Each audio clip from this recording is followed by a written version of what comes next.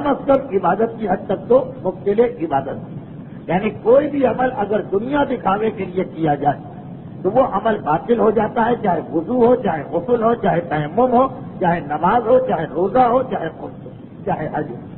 इबादतों में जितनी इबादतें, रया हराम। और इसी रया को खत्म करने के लिए नमाज़ और इस जैसी इबादतों में कुर्बतन इल्ला कहा जाता है।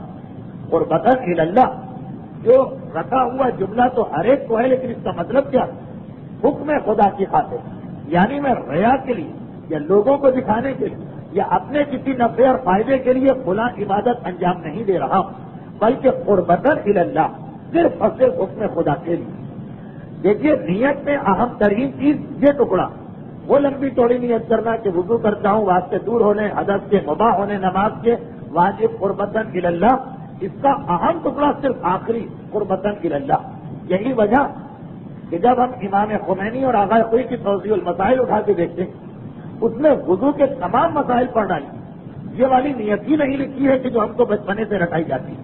सिर्फ़ एक मसला आया कि शराय के वज़ू में सातवीं शर्त यह है कि वज़ू गुर्बत की नीयत से अंजाम दिया जाए, यानी हुक्म खुदा की खातिर फिर, अब इसके बाद कहते हैं कि जब ये बात तय हो गई मुस्तहदीन का फतवा। कि इबादत सिर्फ़ अल्लाह के लिए होना चाहिए। तो